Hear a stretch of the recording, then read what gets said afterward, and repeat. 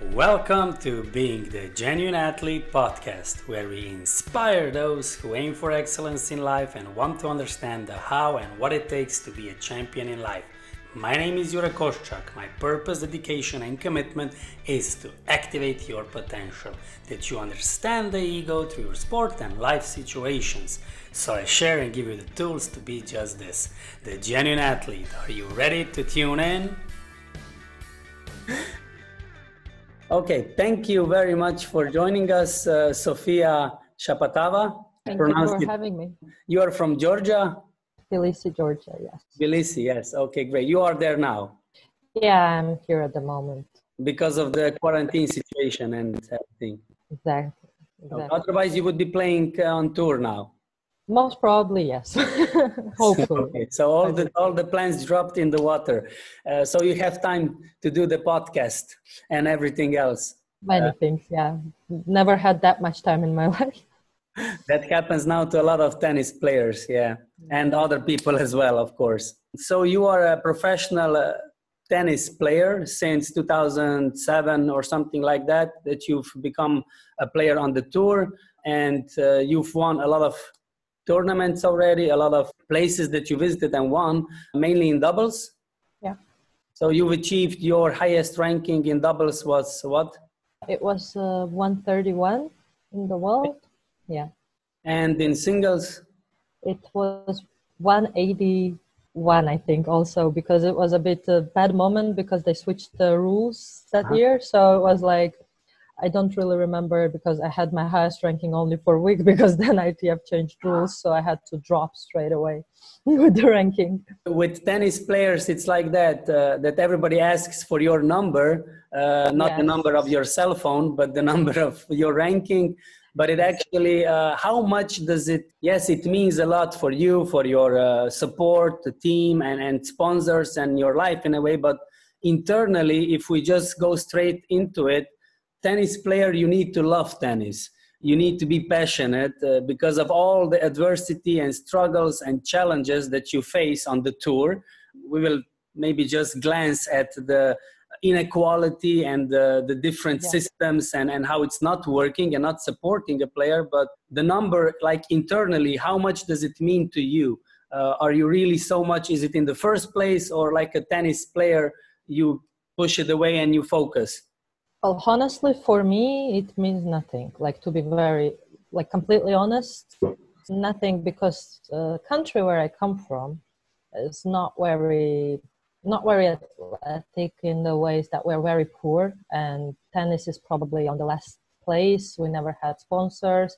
Tennis clubs are not that great. They're just starting to develop in better conditions. Like when I was a kid, we never had an electricity or a heating not even a good court in winter. So we used to play like on a dried out clay outside. So for me, it was just the love of the game. So I never had like the specific goal to be somewhere. And when like, let's say some players want to win a grand slam, my biggest goal for the life was actually to get to grand slam like i could never even imagine that i could travel every week to tournaments because well my family was good because like my dad was principal of the school my mom was a teacher but like if in europe that's the profession that will bring you a lot of money in georgia it's a profession that will only provide you food on the table so there was no like you could not even imagine that they would afford paying all this so i mean it was out of the question they also wanted me to go to university and use my talent to get a better education. I just didn't want to do that. I had a lot of anxiety about that, so I decided not to.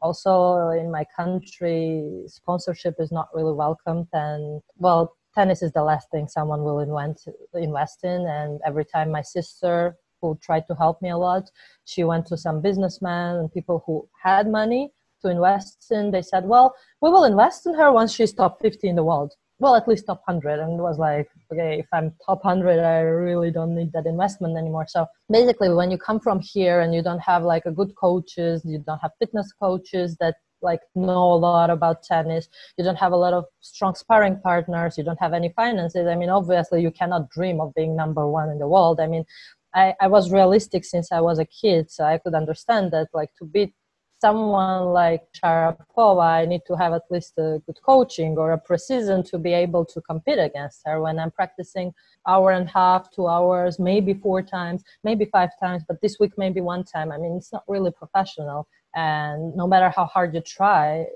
you can't do it like it's just something physical like you have you can have as much talent as you want but you still have to work hard for it. So for me the basic goal was just first the opportunity to practice a lot to play a lot and go to the tournaments. Once i kind of found out the ways how i could support myself to go to the tournaments then i started to create another goals and another goal so for me it was always the process including now it's just the process. So I mean, for someone, a big achievement might be top 10 in the world. For someone, biggest achievement can be top 500 in the world. It's like, if you know what I mean, it's like the point of perspective. Like you should know what resources you had and which circle you were in and were you capable to do this. Like honestly, when I look back, I, I really do think I chose the wrong profession for me because the people I was surrounded with and the facilities I was surrounded with, like it was nothing to do with profession professional tennis. Like it was very small chance that I could play any. And for me to go to, let's say, top 200 in the world is a very big achievement because I know what it cost me. Player and their goals. Like for me, number right now and never was actually something big. Not really. You've mentioned now the where you come from. Uh, you've painted the picture. Uh, and a lot of players maybe i go generally now and then you speak about specifics uh, with you uh, because in generally a lot of players come from these harsh environments and the background uh, like Novak from the war or a lot of uh, Soviet Union or former Soviet Union countries, yeah. a lot of these players and uh, maybe some poorer countries that do not have like France or Germany or a lot of support or maybe USA uh, for players uh, from the beginning and more wealthy parents and the environment. so you need to really uh, show up and, and fight from a younger age, as you've mentioned. I also played table tennis in a, a tennis hall, table tennis hall environment uh, in the winter where we had no heating, and I know how it is to play with a cap and with uh, you know almost gloves yeah, and play yeah. table tennis. I can imagine how it was playing you on a hard court, clay court.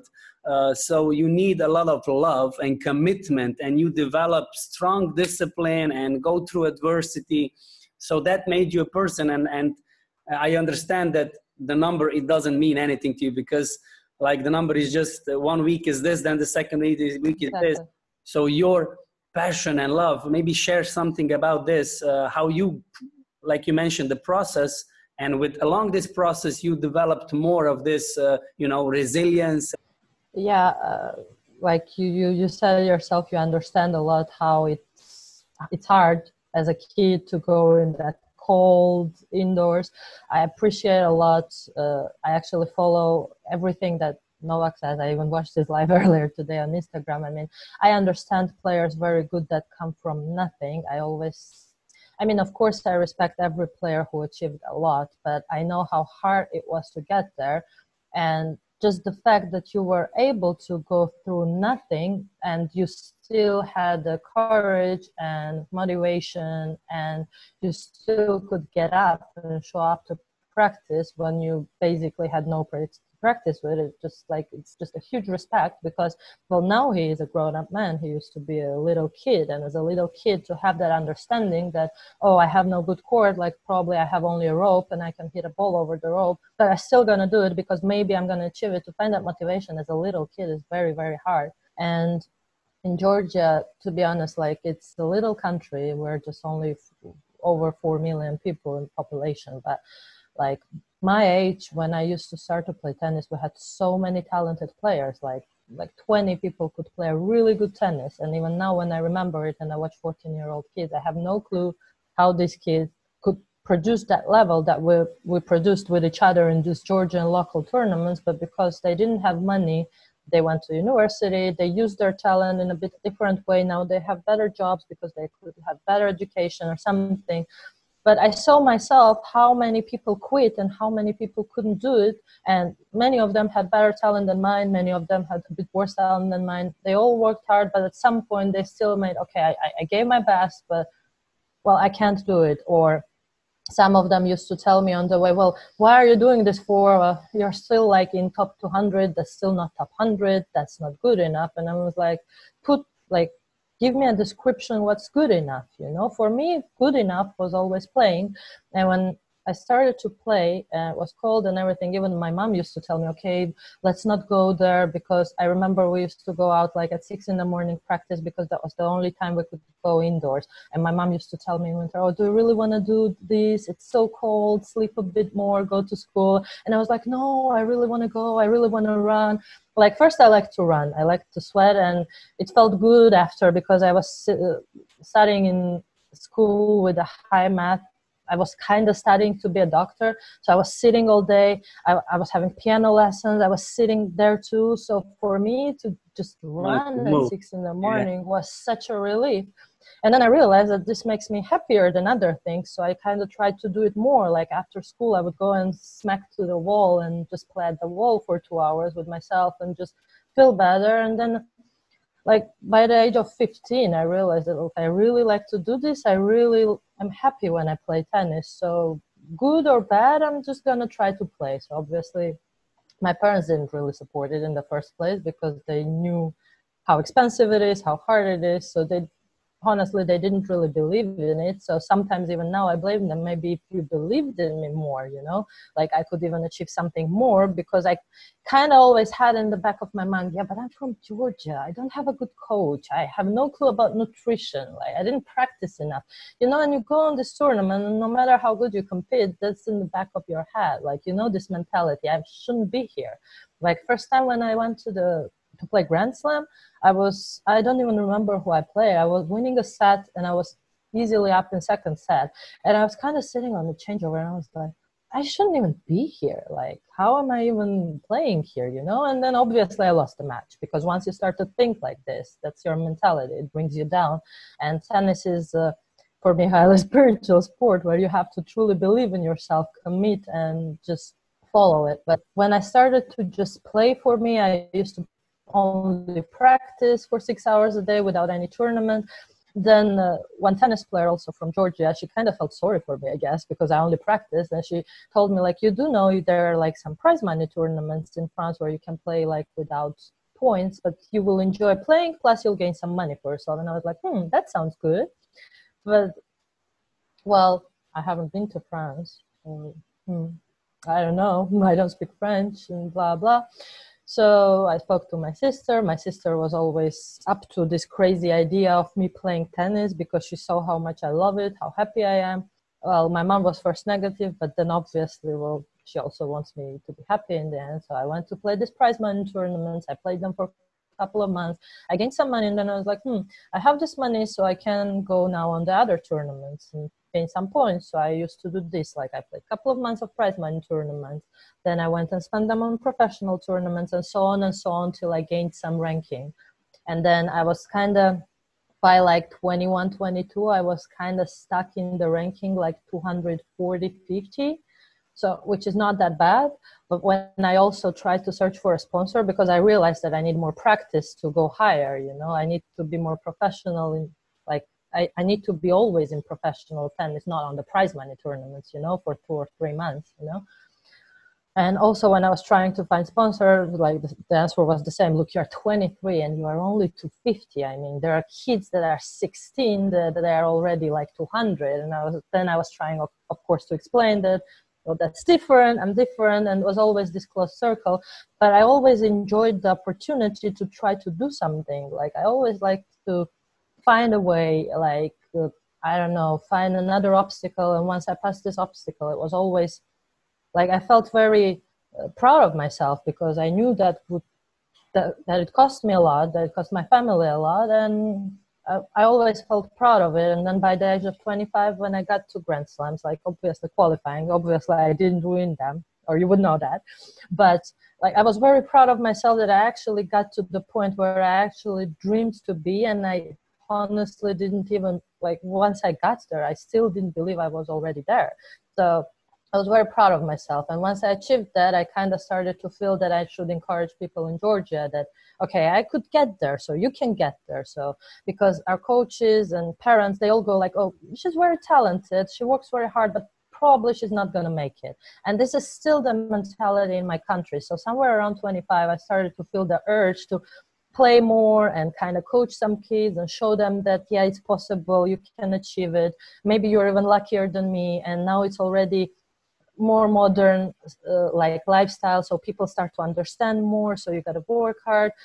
Until now like there is always an opportunity to develop something especially where i am from. So it was always kind of this love that goes up and um, you know like we all have bad days. We all have the like even when we're in a relationship we're not like super in love every day. Some days are bad but you kind of work on something. You find out something new about your partner and you try to get better in something to also be good for your partner. It's the same for me with tennis. Like i don't love it every day but i kind of try to find a way to deal with the problems on daily basis and if i pass them then i know that i learned something new that i can share with someone else and it's just like never ending circle for me. I, I, really like it.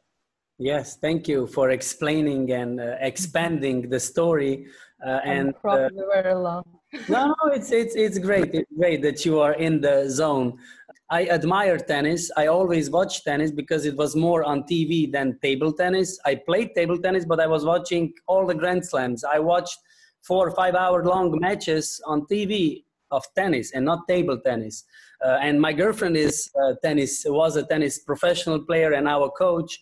So tennis is, is very much different because, as you've mentioned, you touch these small points now. You are top 200, top 300, top 400 in the world, and you mean nothing it's crazy. And everything that you need to go through and to get somewhere and, and how much you need to show yourself up and always be prepared eh, physically mentally emotionally. It's it's it's crazy. And that is why tennis is in a way uh, so rewarding but sadly only for top 100 top 50 and further on top 10 but uh, every story is important. Uh, maybe that is why i have until now i'm not so famous and i have with maybe not so famous tennis player as you mentioned uh, for yourself but uh, you are the true story because you mentioned how much you bring now to your country to your people. I come from i come from a small country uh, from slovenia and we also have this small mentality. Like we are a small country and to keep compete with this small mentality to a bigger country like usa or maybe other european countries that are big and that have the wealth and the opportunities from the beginning, from the get go, it's so difficult. And that is why our story, your story, is so important for these small girls uh, that are in your country growing up and that are fighting. I presume that you now have a place where you can train in the winter, maybe heated and stuff. But uh, yet, still, the small mentality is a big, big uh, hindrance and blockage. That is why I'm committed and passionate about bringing these stories out, showing how much you learn, how val, how much value you have, because it doesn't matter which number you are. If you are top thousand in tennis, you are successful. The things you have to go through and present your love for tennis, uh, and how many times you just wanted to stop yourself as well, that you were angry at the system and what you are doing now. We'll touch that a bit later regarding the system and the situation now. So uh, all in all together i really admire each and every tennis player of course other athletes as well but tennis it really shows you're alone on the court. It's not like table tennis you have a club behind or something uh, and a community. Tennis player you are really alone a lot of times especially if you don't have the finances you need to struggle. Uh, so maybe tell a bit more already what you've told, but maybe some anecdote, some story, uh, how you went through all of these difficult situations uh, that you maybe were on the, in the airport and you didn't have money to buy the ticket, or you didn't know if you're going to have a plane ticket home or something, or you didn't know on the tennis court if you will make it through, or you had a towel or didn't have a towel, or something like that. Well, first of all, thank you for understanding that. It's really rare actually. Not many people know what tennis is about because most of the population thinks that once you swing a tennis racket you're a millionaire. And not really. Everyone knows how deep it goes and how system works.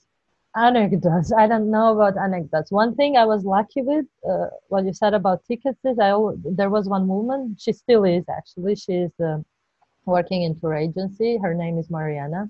She she used to be my sister's friend. She worked in the same place where she is and she liked us and she liked to help. She likes tennis and she used to take me a ticket and I would pay her back slowly or later. And she helped me out a lot. Like even this year, I kind of bought a couple of tickets with her and then I paid her later because like I couldn't at that moment or my card didn't have enough money or something. And she was always understanding. And she is also one of the biggest reasons I could start to play in the first place because in the first place I couldn't have like I couldn't afford a ticket to go somewhere.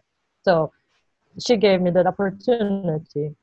Also one of these people who cannot give you much like obviously she couldn't sponsor me but she could help me out a little bit like and this, this little people help you go through this you know? You, you have to be lucky to find them. Maybe you are not lucky enough and someone doesn't go like oh i'm going to give you 100000 euros and just practice and go play.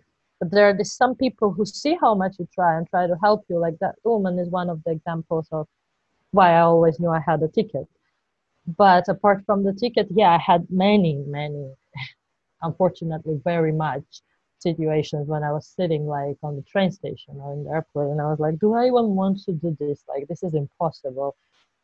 Like i remember that france i remember i arrived very late on the train station. I had to have like a last train at like 10.30 and they canceled it till next morning. And i had exactly like 12 euros in my pockets and I had to wait till morning. I had no chance. So I had no place to go because there's no hotel for 12 euros. So I had to stay in the train station. It was December. It was freezing, and I was like, okay, what am I gonna do? So that's not really athletic what I'm gonna say right now, but that's what happened. So I have 12 euros, and I'm thinking, okay, I have to get warm somehow because there's no heating in train stations in France. If you've been there, you know that. So it's freezing cold. There's no one there except like one or two people. I don't know what happened to them. Probably they also have some magical story behind that, but I am not aware of it. So I had one coffee to stay awake, obviously, because you don't want to fall asleep in the train station.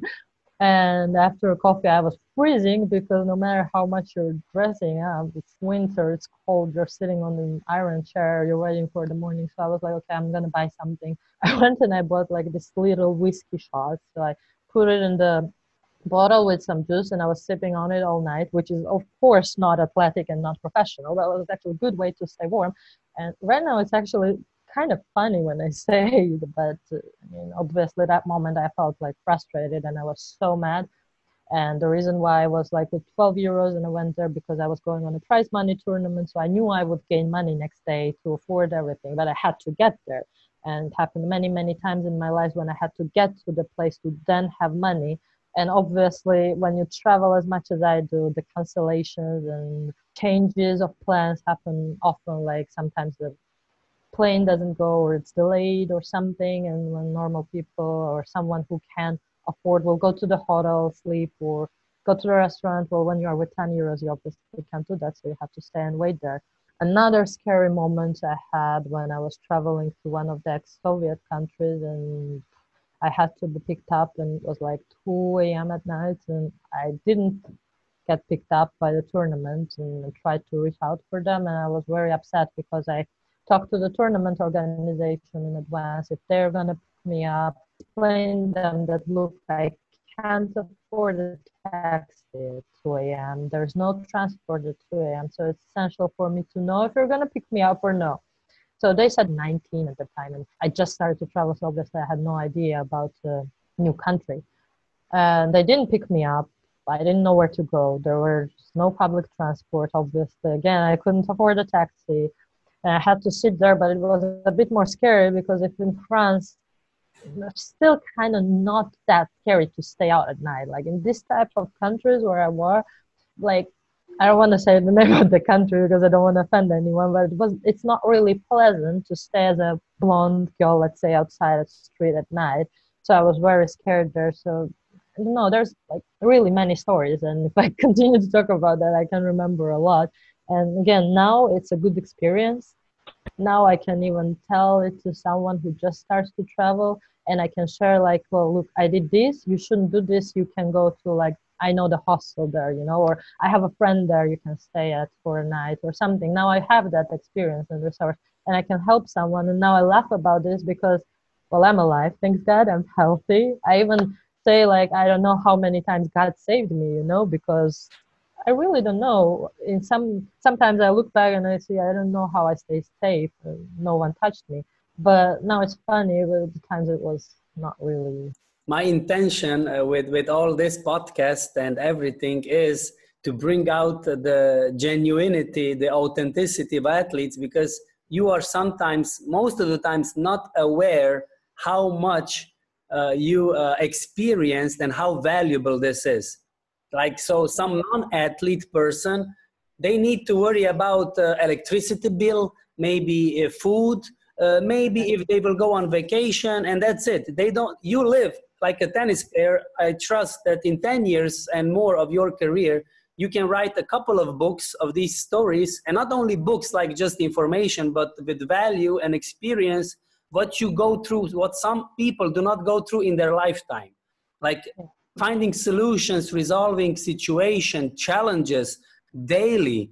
It's it's crazy how much value you have as a tennis player. Of course some other athletes from other sports as well but i'm talking with you now. And uh, tennis players that is why i admire you because you go through so much. And yet still you are 200 in the world and it's nothing. It's so much.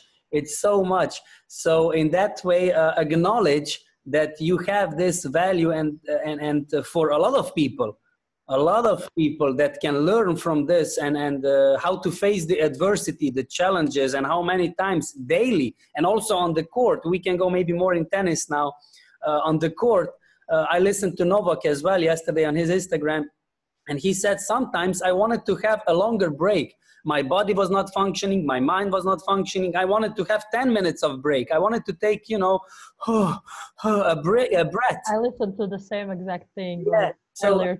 Yeah. I think you are the same that, uh, especially as a lady as well. I've talked to Nikki Goyer in, in the previous podcast, and, and I've, we've touched some of the grounds with the female triad, which is the menstrual uh, period disturbance and the energy deficit, low bone density, with ladies, with the pressure, with stress outside, as you've mentioned. Tennis yeah. is not just a game that you watch on a tennis court, on a tennis match, on a TV, tennis channel. Tennis is like 24 7 and a lot of challenges outside of the court and especially on the court. How did you manage? Because that made you stronger out of the court, but on the court, you also needed this mental. Um, mental capacity, mental power uh, that you could be able to compete and not, you know, take time out uh, and, uh, you know, take a substitution because it's an individual sport. Even in the doubles, you cannot be substituted. You need to be there and perform in that hour or maybe two hours of a long match. How do you find that? Um, what do you do for your mental health in your process of your career? How did you maybe read books or, as I said, these outside situations of tennis helped you to be strong? How did you connect all this? It's a good question.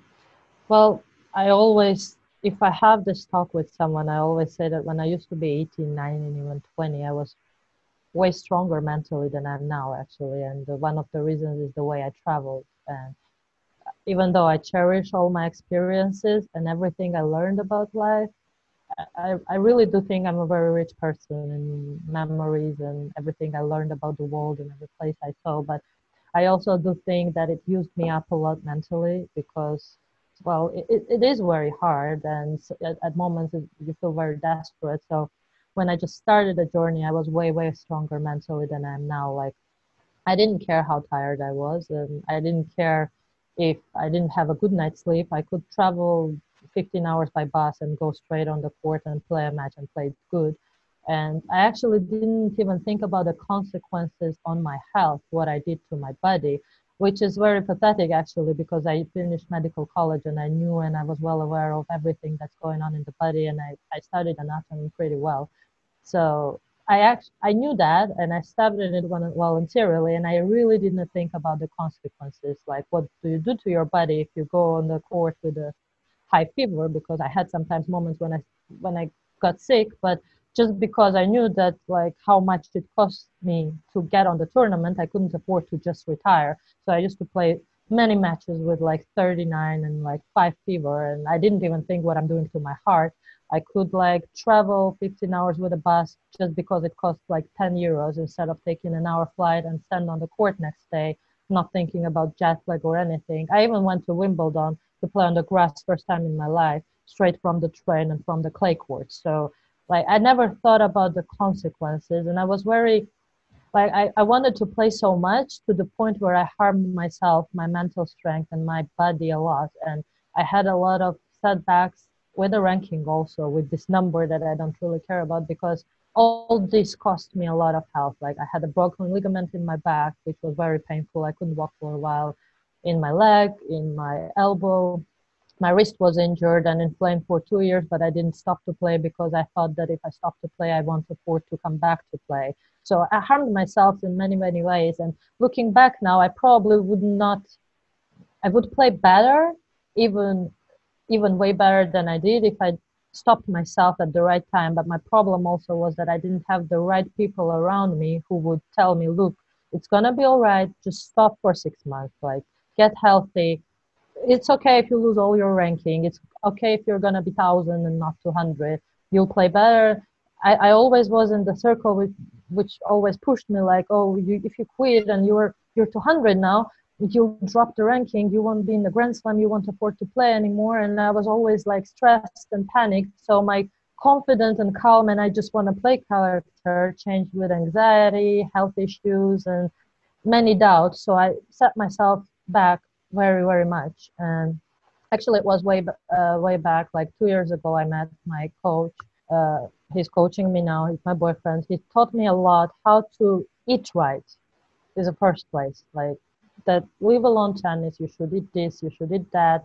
No one glass of wine a day is not okay, even if it's tasty and even if you're from Georgia. You know, like you should drink a glass of water when you wake up because I never drink water when I'm not on the court. Even now, I always forget it unless he gives it to me. You know, so like two and a half years ago, I started to learn new things about tennis not on the court but outside of the court that could help me to play tennis and it's and it sounds very very pathetic but like at the age of 31 i'm my healthiest. Like i didn't get injured for two years and it's first time in my life. Like when i met him i twisted rolled my ankle and broke ligament. And in one month i told him okay i gotta go to play. And he was like no no no no no. You're doing a good preseason and then i was like no no no. I have to go to play. And he was like no. You're gonna sit down. You're to stop to have pain, then you're to practice four weeks, and then you're to go on the tournament. And I was like, but yeah, I'm losing points. And he was like, it's okay, you'll gain them back. And I was like, no, no, no, that's not how it works. So we had a lot of fights. He didn't understand what's wrong to me, why I'm so stubborn. And you know, it's like a genetic code. It's just in me. Like I, I was raised like this. I felt like this. And then once we did that practice block and everything, I went on the tournament. I didn't feel pain. I didn't get tired. I didn't get sore muscle. I actually played good tennis and I felt like my youngest at like 30, you know, and I was like, oh, that's how it works, you know, and I was like shocked that at the age of 30, I discovered how important that is to actually be correct with nutrition and sleep and rest. And rest is very, very important, you know. Like right now, the only like one of the biggest positive things that this coronavirus brought me is like I had a chance to observe what I do wrong about myself because once I sat down, like my, again, my this young anxiety kicked in. I started to feel like very like aggressive, sad, stressed, and everything. And it's been actually last two or three weeks. I felt more calm, and I observed that oh, I have to calm down. I have to sleep better. I have to take care of my mental routines. I have to. I started to meditate, let's say, and like first day it, it felt silly. Second day it felt silly. Third day I was like, okay, I'm actually breathing better. Fourth day I'm sleeping better so kind of now i'm even learning new parts of my human being that i should be more calm more patient and it's okay that i'm losing time. It, it's fine. Nothing's happening. Like if someone if i want to play tennis i'm still to play tennis. And then if i'm not to play tennis that's still to be all right because i'll find a way to teach tennis or share my experience. And it's been actually two or three years i realized that with the help of tim and with the help of some books with the help of some course as i said like i didn't help myself on the way. I actually harmed myself a lot on the way and that's the problem. That's why now i'm thankful for the things i have because right now i feel that in no matter how much i will play or i will not play i feel i can be more productive than throughout of my whole career. And that's why for me it's important to talk with you on the podcast for instance or to other people. And share and talk always because I do feel that many people are making so many mistakes. The ones I did when I was like 20, 21, 25, even when I was 27. I wish that they have someone who could just shake them and say, look, you gotta stop. Like just sit down and stop. And I didn't have it on on time. I, I really didn't. Like we in my family, we are all perfectionists. Like my mom, my dad, my sisters, they all go like, you have to do it. You can do it. You're strong. You're strong. And in these ex-Soviet countries, I don't know if you know that also, being strong is something that you always have to push your limit. Even if you're dead, you have to crawl, you know? There's no like, if you rest for 10 minutes, you're still going to be a strong person. Nothing's happening, you know? And I wish I had that earlier in my life so I could produce more even results, you know? Yes, yes, I understand. And thank you for um, explaining how it is in the Soviet countries. And also, ours was a bit in between uh, Slovenia. But uh, anyway, it's good that you touched these points and uh, we can connect it with the situation now with the quarantine and this COVID uh, stuff. We'll not go into politics about it and anything. Uh, if it is or if it's not or what it is about. But um, like Novak, uh, he's famous, Novak Djokovic and he was a winner in a way uh, on a highest level. And he wrote the book how he was inflamming and uh, destroying his body with the wrong food wrong nutrition that he was doing by not knowing. And he was already at the top top five top three and he was eating exactly. pizza and stuff. And he was destroying his body and he had a lot of injuries and as well he needed to break out of the matches. But uh, this situation now uh, happened. As it happened it doesn't matter who's guiding how's guiding. Let's not go into that. But it happened and it only showed the cracks in the system uh, that we'll touch just briefly in the system of the ITF and the tour, uh, but it showed the cracks in the people because we were all living in a way blinded, in a way in this hamster wheel uh, in a way with this soviet approach just go through just work hard work hard no pain no gain destroying ourselves. And now we have time to reevaluate to have this retrospective to change our behavior. It's very good that you're meditating. Uh, i'm meditating already for 10 years and if i haven't been meditating I don't know where I would be. I, it, this parallel universe of me not meditating, I don't know if it exists in a way. Uh, so it's very beneficial and thankfully that you meet all these people for the plane ticket and your your coach boyfriend that they guide you and i'm sure that also a lot of people like your family and sister have helped you in the way that you were not so uh, driven by your ego or soviet society expectations exactly. that you could find out and you know glide through uh, the, the, all of the challenges and uh, actually change your behavior and results consequently of course also change not only in your itf or whatever the number ranking but in yourself. That's the most important thing your organs your mentality your emotional health your you know the reproductive programs. You're a maybe soon to be mother. You want to have children i presume in a way. Everything with this uh, how do you see the situation uh, with this quarantine and uh, with uh, how you needed to, as you mentioned already, with this retrospective, with changing of your behavior, with dealing with yourself, because when you run around, you do not see yourself. You have to catch that train, you have to catch that bus, you have to spare that euro, you have to win that tournament, you have to play with fever. So you're always in this uh, seeking, like the whole world was in that. So how do you see now, uh, and maybe you can add in the, in the end of your answer this uh, change.org that you've started in a way as well uh, to influence the tennis players uh, that they wake up and that maybe they get support and maybe they ask for support. Maybe if you can combine, if it's not too much of questions. No, that's a good question actually. I'll, I'll, I'll try to put it like in a good way, not going also in the politics.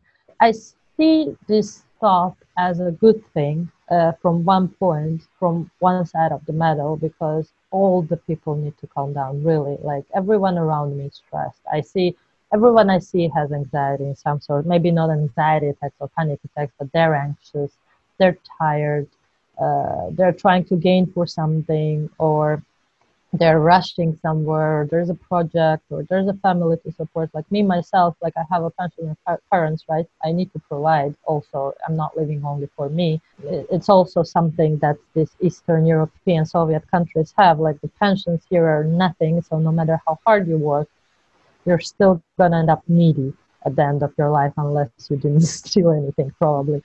So like also for me it's very very important to work because I'm not only working for myself, right? So I noticed it by myself how I needed this rest because first three weeks I couldn't calm down, like I couldn't sleep, I couldn't do. I woke up at six, I, I did yoga, I, I did something, I read book, I wrote something, and like still I couldn't like I couldn't bear this idea that I'm stopped and I have no idea by how long. I was in Georgia and I was like, okay, the tennis clubs are open. I probably will start to coach if I can't play tennis and blah blah. And then the tennis clubs closed, and I was like, oh my god, what's happening? You know, like I must, I, I, I completely started to be sleep deprived because the amount of ideas and uh, thoughts that went through my head at night was horrible. Like I had the same amount of ideas and thoughts in the afternoon too, but somehow the cooking and cleaning and stuff take took it away from me. But at night, I was like laying down there and okay, Sofia, you have to sleep. You have to sleep. You have, and didn't work. And then obviously in three weeks, I ended up very, very anxious at the point where I was like, I couldn't breathe. And I say it because it's also for me very important to say that it's okay to be anxious because some people don't understand that by hiding it, they're like digging more into themselves and hiding, and it's even getting worse. So, yeah, I am anxious. I'm anxious type of person, and I always need to control it because once I don't, I have many thoughts, and we ha- we live in a very fast life. We always have this perfection going on. There's social media. Someone achieved something. I didn't. I need to achieve it. Oh, my friend. Oh, she got married. She has kids. I have nothing. You know. And this one renovated her apartment. And oh, I don't like my room. You know. Like there's so many things we see around us that all also push us. And there's some problem in your family. Then also like, oh, my forehand is not good enough today, and I'm a bit not healthy, like blah blah, and so many things go in the head, and I'm stressed. Yeah. So, and when I'm stressed, I don't have enough time to look at what I do because, like in the morning, I get up, I go to run, I practice, then I have a match, then I have a doubles match, then I talk to my mom to find out what's happening in Georgia while I'm somewhere in Las Vegas, probably. Then obviously, like my coach is with me. He's he also has a life, so obviously something happening in his life, and I care about him. So also that stresses me out. And then then boom, it's eleven in the evening, and it's time to sleep, and you're laying there two hours with your eyes open, and you're like, okay, what am I going to do with this tomorrow? What am I going to do with this tomorrow? And right now we had time for it. What happened with me first five weeks is this time healed me uh, mentally because I had even more time to think, and I couldn't do anything about my thoughts because obviously everything is closed. And then next three weeks was a phase of calming down a bit and i'm very far from the stage where i want to be my mental state of mind where i really would like to be to feel happy and calm but i feel that i'm on the way and that's already a progress. So i do think from this point of perspective it was really good because even though people struggle financially most of them would not take this break voluntarily to take care of themselves so it's like a non-voluntarily rest for the brains and mind. Well, the other side of the medal is that, like, uh, again, I go back to the fact that I'm from Georgia. People here cannot just sit down and have food because they don't gain enough to provide for themselves. So just sit on their chair. So I see many people who struggle so much and their stress is way worse because like they have no food literally. Not not that they won't have it in two months. No, they already don't have it and you just kind of watch like you go outside and i see so many more beggars in georgia. Not that we didn't have them before but now there are even more. And sometimes even the girls and boys come up to me in the street that are just teenagers. They're not beggars but they go like like really? I couldn't work for two months. Can you help me a little bit? And you go like oh my god. When you see that it's also not doesn't help this positive spirit rise up. Oh it's good for the planet to heal and everything and I get like really mad at some point when they say, okay, planet heals. Some people heal. People who have money and like villas with a tennis court and basketball court are coming up in the window. So stay home. It's good. It's great. Okay. Tell that to person who lives in a basement and has no money for bread tomorrow. So from that point of perspective, it's not that great. And these two are fighting in me constantly every day. That's also one of the reasons that doesn't help me calm down where I want to be. All of this, as I said, I have so many thoughts, and I spoke to so many tennis players who had like the same problem. I heard from one girl, oh, I have to pay rent this month, and it was March. Now we're in May already. And she was like, I, I don't know how to pay it, so probably I have to go out from the apartment, but I'm not living in this country, so I cannot don't know where to go and blah blah. And I know some players helped her out and she stayed at their friends. And then there was another player with another problem, and I was like, okay, that has to be something has to be done. And then I sent couple of emails to ITF, which well were answered but not that great. So I was like, okay, let me do a petition. But was first even it was Tim's idea, maybe just try to do a petition. And then I was thinking, what will this petition bring me? Probably nothing. that was my first thought. But on the other hand, I will find out how many people agree with me that we should be helped and how many people are actually struggling. So that was the idea behind it. I want to, wanted to find out how many people will stand by it and how many people struggle. And currently turned out it was a lot and more more i went online more interviews i gave more players came back to me and yeah this happened that happened this should be fixed and well it got bigger and i thought that i found something that i can try to do i mean i didn't expect that there would be some result which actually at some point like now itf announced that they will do a relief fund which i'm very like thankful and like honestly at the first place i didn't expect that would even happen but i'm really thankful that it will happen hopefully soon on the other hand, they approved players panel to have players' voice heard. And there was one tennis player, Ana Vrljić, she was fighting about this since like last year. And I think like was big part of her fighting about this that they actually approved this players panel. And now we have the chance to talk more to ITF, which it's still two or three meetings a year, but it's still better than what was. And I kind of find out for myself what I also want to do in the future as well. Uh, I everyone who knows me close knows how I hate inequality. Everyone who knows me good knows how I always am very hot and fast tempered. And like once I see something happening that's not fair, that's unequal, I have to say something. Like even if it's not concerning me, I will still say something because that's what I am. And right now I feel more and more need. And also, ever since I did a petition, I got some negativity also. Obviously, nothing comes in just a positive package. Some people told me like, oh, now doctors are important and uh, supermarket workers and everything. And I said, yeah, I know that they're important. No one said that they're not. I'm very grateful for them, but that doesn't mean that uh, young people should struggle, die, lose jobs, and lose apartments, lose not have money for food, right? And if some self-employed people are allowed to speak about their problems and ask for government relief why aren't we allowed to talk about this right so more negativity i got more kind of not even aggression like more wish i had to talk more so to explain what's the problem it's not like i'm asking for a sponsorship to play tennis i'm actually talking about money to survive because the system is created in the way that you don't have money to survive unless you are not top 50 and these people work hard. It's a physical work. You literally kill your body every single day. Sport is only good for health when it's a one hour a day and it's just a amateur sport. Sport which you do six hours a day, it requires like horrible physical conditioning, like you wasting your body and your organs and your mental health six to seven hours a day, sometimes even more. Sometimes you don't get even food between these sessions or matches. It takes a lot and when you are 300 in the world in your profession, past 300, I'm pretty sure you have to at least break even and have money to provide food on your table. And right now, these tennis players have no money to provide food on their tables, you know? And people don't know that. And that's why they give the negative feedback. So to help them understand that, you should fight for a voice, you should fight for the platform. And what we miss in tennis is also solidarity, and we'll, we miss like this whole voice of the players. That's why it's very important that we create a tennis union where uh, which will support players and there will be one voice speaking up for the players and I really kind of found, found what is very important for me as for tennis player, you know, for the future generations, for the generations probably I, I might coach. I want them to have more equal environment. I want them to have more chance to speak up. I want them to have more chance to play.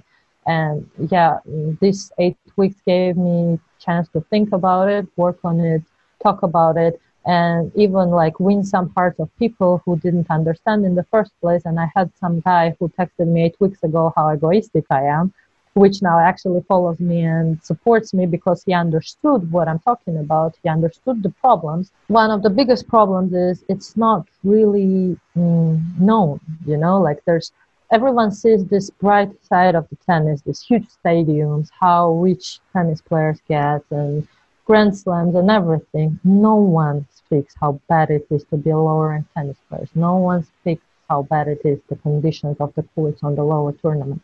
No one speaks that there's no physio on the 15,000 tournament, and if you twist your ankle, probably you have no chance to get help in like first 10 minutes. And no one speaks of the amount of humiliation the players get you know, and how much like hate messages even we get from the live scores and live streams and people don't know that. They just see this shiny thing and they think oh you are 400 uh well if you were good enough you'd gain a million so you're not good enough. No that doesn't work like that. Like this environment this system is not made that way. And also when you learn better about the system it's very hard to get to top 100 and it's very hard to fall out also from top 100 unless you're not like heavily injured and everything. Like top 100 is kind of protected so to get there you really really have to work hard. But also you have to understand that you have, can have to afford working hard it's not only like i am willing to work hard no i'm also willing to find a way to afford to work hard and then once you gain the money to afford to work hard, probably your body is not capable to work hard anymore. And people don't know that. And for me, it's my biggest goal right now is to show as many people as I can what's the problem in the system. And for me, it's also a big motivation that I see more and more players speak because in first two weeks of my petition, I didn't hear any players speak up because they were kind of skeptical. Also, they didn't believe that we would stop for so long. Honestly, they thought we will continue to play in April. But it's not the point. Like after three weeks, a couple of more players started to speak, four, five, and now actually there are many players who are willing to fight for a change, who are willing to speak.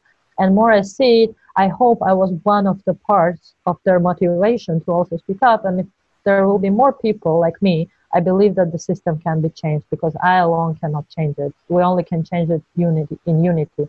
That's why we have to unite. We have to have a collective, and we have to speak as one. And it's very important. Wow, wow, Sofia, uh, that was uh, very big and amazing. And I have a lot of ideas now and and, and thoughts, and I will I will intend to clarify them because there are so many points that you've pointed out.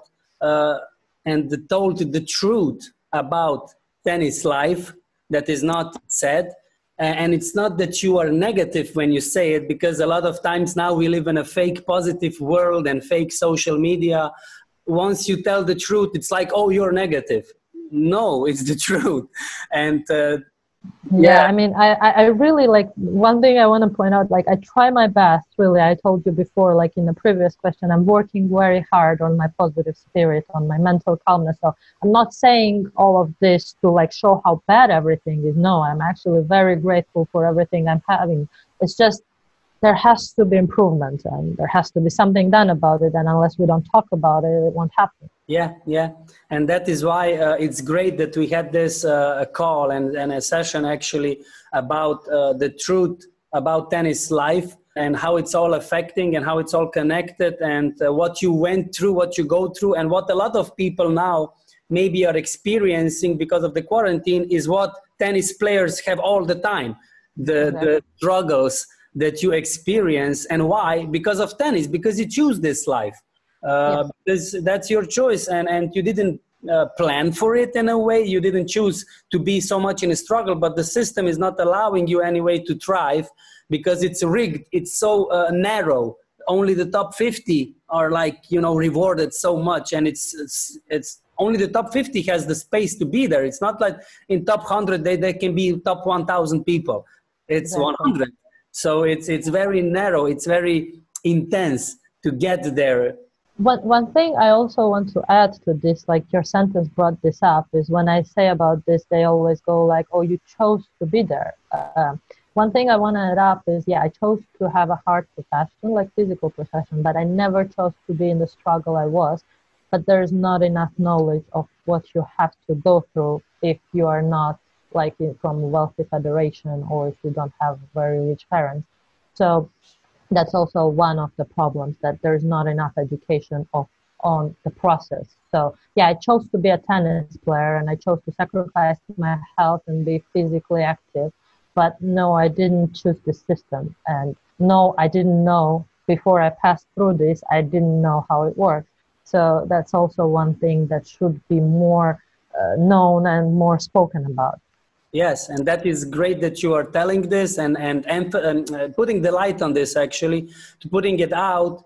This podcast being the genuine athlete. A genuine person is someone who sees the seriousness, and you are seeing the seriousness on the streets. Not only in your town, you are aware that it's happening in the world. Uh, how serious it is. How many people are suffering now because of not their choice. We are but we are all living as a as a in a world as a unity. And now tennis maybe finally will come out of this competitiveness that uh, my girlfriend also shared her experience with me in a way how ladies are being so competitive that they forget that they are ladies and, and they are pushing their themselves away on the tournaments and being nasty to each other because of all this competitiveness. And, and you need this prize money and you will do everything. You will go over dead bodies uh, maybe uh, in order to win. And if you said like you don't have a physio on the court uh, nobody will help you uh, because this has to happen now. This compassion this empathy this genuinity this understanding this full heartedness that you can understand and actually be connected with other people. And uh, it's great that you've began this change.org petition. And uh, I might add here, tennis and life itself, uh, we have struggles when we have a certain mindset or a belief system in ourselves. So it's crazy that tennis actually exists because of tennis players. And it's crazy that you do not take the time you have no time because of the system you have to all the time compete and run but you have you are the initial point why tennis exists and why the ITF, ATP, WTA exists. So exactly. if you will not unite and you will not have a voice that has the, the body and that can influence, not just that you have a panel and that says something once a while in, in a year, but a, a very strong like voting place. Not that somebody has a voting place and a voting hand in, in that unity of the tour and the, the federations, and you are the players. You should be like 90% of the deal. You should say where the money should go, how it should be. Exactly. Not that somebody else says who maybe was a player and they forgot about it. Or maybe somebody is the president of the federation and never had anything together with tennis. So how do you say see this uh, getting your you players more stronger together and i see that your uh, intention is this now after this petition and maybe the panel and maybe the unity and maybe getting the votes inside the federation uh, i see that you are very ambitious so how is this in, in your future now playing out how do you see different points now well this is a big problem like it's obviously very hard to change in like one go that players have voice and everything. I do think that ultimate step is there has to be a players uh, union because as long as we don't go together, no one will change any system. As long as there will be only one Sofia talking, one the girl I'm talking to all the time, Tara, you know, Tara, Anna, doesn't matter. We will just speak as long as we don't have a union. And uh, to in order to do so we have to understand we have to step like back from our own ego like i used to be one of these mean competitive girls i lost a lot of contacts on my way because if i was more aware like from the age of 20 25 i was going in the tennis club probably with my earphones saying hi to people who i like not really who i don't. Like i didn't listen that much. I came to practice do my job just left. I was just being a tennis player. Not that it's a bad thing to do. I was just a tennis player. like later on i learned uh, to listen more to other people. I learned struggles of other people and you learn in the process. So uh, it's a good time to step aside and see that okay you are a tennis player. You're a single tennis player. No matter how good you are you'll be a history and if you actually really love the sport, you have to do something for your sport, not for yourself, but for your sport. The first thing to do is not demand from organizations the change, not demand for more money, not demand for more facilities, is to demand actually from tennis players to be colleagues, not just the random tennis players in individuals.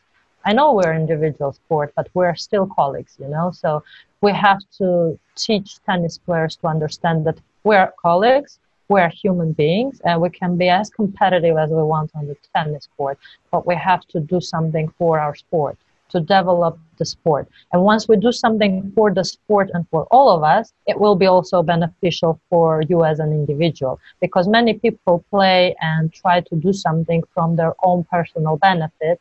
And it is important to understand that in this condition as we are and the system that we are, to actually get a benefit for you personally, you should think first about the others and about the sport as a whole. So more people realize it, the faster the process will go. So that's why I say it's very hard to change it in one day because we can't just go and demand something from ITF, ATP, or WTA.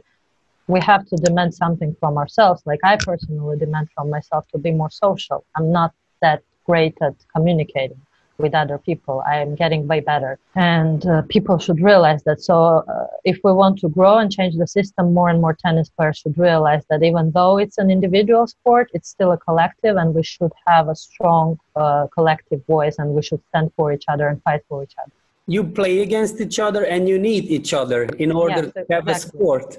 So it's not individual, uh, as a lot of tennis players and community is saying it's an individual sport Exactly. If you look at it very narrowly and limited, it's not individual. You need two to play. It's the same as in relationship. The picture keeps getting in my mind. I, I think you maybe you already saw, saw it. Like there's a cliff, and then there's the, the, the board, and then there's the leader that has the microphone, and he's standing on the board. But the board that he's standing on, it's above the cliff. So on this board, yeah. people are staying and they support him, they listen to him. So if they step off, he will fall. So that's happening in the world, not only in tennis, but also in health uh, institutions, in food, in, in, in a lot of uh, areas and a lot of other uh, sports as well. What needs to happen? The unity and that uh, all the tennis player figure out, oh my God, I need a coach. So that's not individual. I need another tennis player. I don't play with the wall. I don't play against the wall.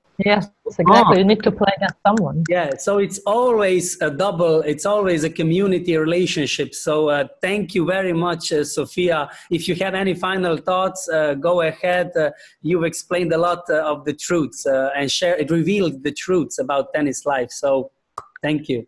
No, um, all I have to say, thank you for having me. It's very nice podcast actually for tennis players because uh, usually people speak about matches and how it goes, and this is a very deep understanding of the game itself and of the system and of the process. So I'm really glad that you called me and we could have this talk. One thought that I could say is like it's a good time for tennis players, even the top level. As you said, even for them to be better, they need to be better than someone. So they need all the players in the world. So it's a good time for everyone to step down, forget their personal ego, and work for the sport. Because after all, we're all playing it because we love it. And just to make it better, we should work for it, not for ourselves personally, but for it. And then the sport will work for us, like everything in the nature. If you take care of the nature, it will take care of you. That's the same in everything, like in tennis, in sports, in life. So I truly hope that many people had time to look back at their lives in this eight to 10 weeks and will realize, uh, reevaluate things, and uh, hopefully we will come back to the world and we will try to make it better already. Yes, thank you very much. And I'll also add your links and uh, the stuff that you are working on. And let's share, let's spread this information that uh, players will understand and raise their uh, awareness in a way, consciousness, and put away some beliefs and patterns of uh, self, uh, you know, preserving themselves and, and uh, yeah. self survival and understand that we all need each other. thank you very much and all the best uh, for you in your career and life. Thank you very much for having me. Yeah. Like this stuff has to come out. Yeah, and thank you for tuning in.